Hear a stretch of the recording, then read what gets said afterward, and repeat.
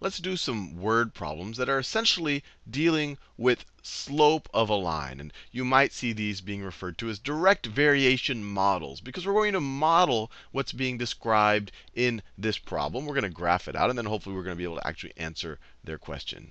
So let's see what they're asking. The current standard for low flow shower heads is 2.5 gallons per minute. 2.5 gallons per minute. All right. Calculate how long it would take to fill a 30 gallon bathtub using such a shower head to supply the water. So what we can do is we can set up a direct variation model, It sounds very fancy, but it just says, okay, let's set up a little equation that describes how much, how many gallons we would have filled, or how many gallons we would have used uh, per uh, after a certain number of minutes. So let's say that we have, let's say we have gallons is equal to the rate at which we fill the gallons. So it's going to be 2.5 gallons per minute. 2.5 gallons per minute times the number of minutes times the minutes. I'll say m for minutes, m for minutes, g for gallons. We have just set up our direct variation model, nothing fancier than that. We now have an equation that describes you give me the number of minutes, I'll multiply that times 2.5, because that's how quickly we're filling the bathtub. So after one minute, 1 times 2.5, we have 2.5 gallons. After two minutes, we have 2 times 2.5, we have 5 gallons. So this is our model. And this is also a line. Remember, the form of a line is y is equal to mx plus b. Here we have no b. The b is gone. We just have an m times an x. The x now we're calling minutes, and the y we're now calling gallons, and the slope is now 2.5. So let's plot this before I even answer their question. So instead of calling this the x-axis, remember x, the independent variable, is now the minutes that we let it flow. So that's the m-axis for minutes. And the vertical axis, instead of calling it the y-axis, I'm going to call it the g-axis for the number of gallons we've filled. And I'm only going to deal in the positive quadrant, assuming we can only have positive minutes. So what's going on here? We have a slope of 2.5. We could also write this as gallons is equal to 2.5 is the same thing as 5 over 2 gallons gallons per minute times the minutes. So now we know our slope is 5 over 2. I could have used 2.5 as well, but I like 5 over 2. Our y-intercept we already know is 0. There's no y-intercept here. You could view this as plus 0. So you start over here at the origin. That's our y-intercept. And for every 2 we go to the right, we move up 5. So we move, change in x is 2. 1, 2, 3, 4, 5. Change in x is 2. 1, 2, 3, 4, 5. If change in x is negative 2, then change in y, it will be negative 5. Negative 2, 1, 2, 3, 4, 5.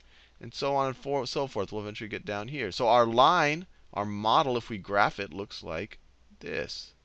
trying my best to go through all of the points. And actually, I just said I would only do it in the first quadrant. You really, it really doesn't make sense in this quadrant right here, because you can't have negative minutes, or you shouldn't have negative minutes. So we should only be dealing with it up here. Now, they're asking, how long will it take to fill a 30 gallon bathtub? Now, unfortunately, my graph right here does not go all the way up to 30 gallons. If it did, right, this is 10 gallons right up here. That's 10 gallons. If I went three times higher, I could just read the graph. But we could also solve for it algebraically right here. How many minutes does it take? Well, let's just make our gallons equal to 30. So you have 30 gallons. 30 gallons is equal to, I'll do it in the same color, 2.5 gallons gallons per minute times minutes times minutes. Now all we have to do to solve for minutes is divide both sides by 2.5 gallons per minute. So divide both sides by 2.5 gallons per minute. 2.5 gallons per minute. I'm, do, I'm doing the units to show you that the units actually all work out at the end. So this will cancel out. It will just become a 1. And so the left-hand side, or we could say m, m is going to be equal to 30 divided by 2.5. 30 divided by 2.5. We have this gallons in the numerator, gallons. And I want to show you, you can deal with the units just like you would do, deal with actual numbers. And if I have gallons per minute in the denominator, if I divide by this fraction, that's the same thing as multiplying by multiplying by its inverse. That's the same thing as multiplying by minutes per gallon. Right? This, these units were in the denominator. When I put them in the numerator, I flip them. So gallons in the numerator, gallons in the denominator, they cancel out. So I'm left with 30 divided by 2.5 minutes. And what is 30 divided by 2.5? 30 divided by 2.5 is equal to 12. So it'll take us 12 minutes to fill up a 30 gallon bathtub. We have our minutes right there 12 minutes. Let's do one more. Amen is, or maybe Amen, I don't know the best way to pronounce that name, is using a hose. Let me scroll over a little bit. Is using a hose to fill his new swimming pool for the first time. He starts the hose at 10 p.m. Let me write this down. He starts at 10 p.m. 10 p.m. So this is the start time, and leaves it running all night. At 6 a.m., he measures the depth and calculates the pool is 4 sevenths full. So when he starts at 10 p.m., so this is time, and this is how full the pool is.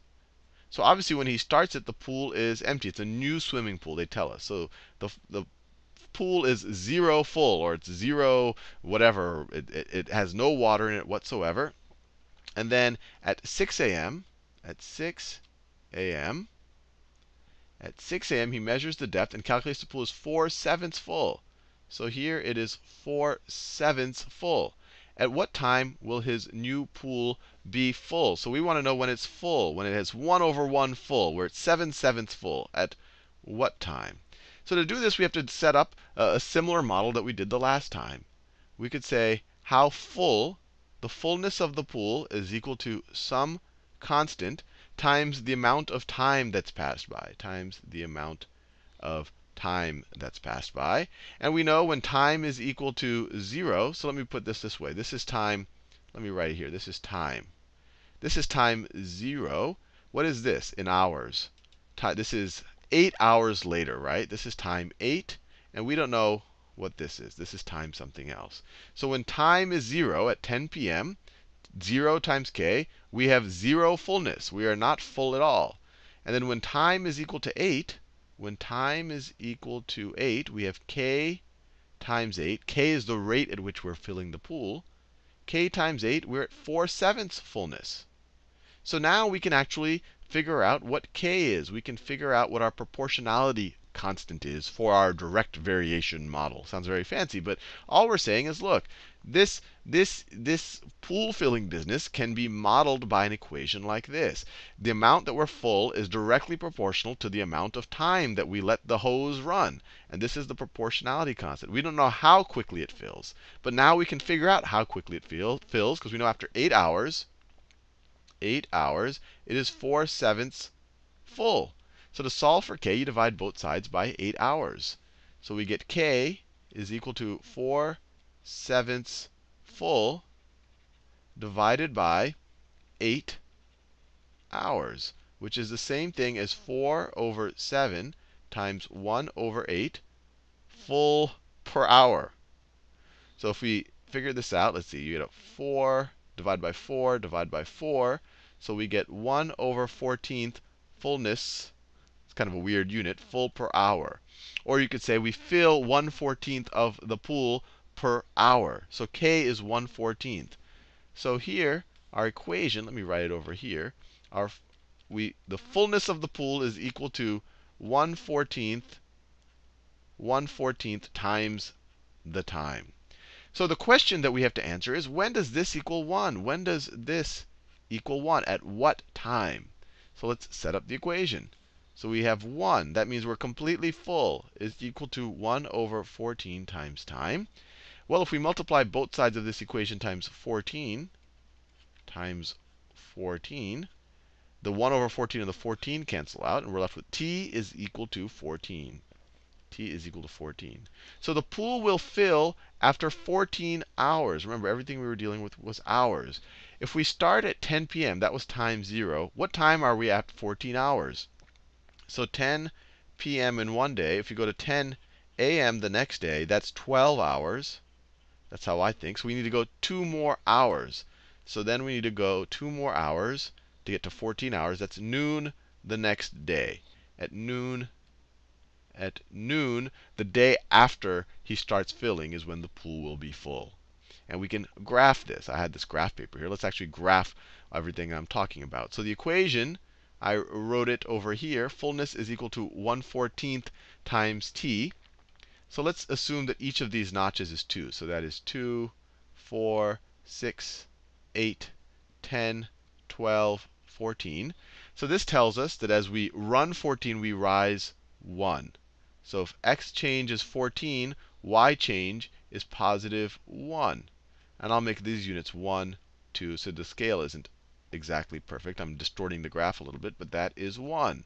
So the graph will look something like that just like that. Has a slope of 1 over 14. Anyway, hopefully you found that useful.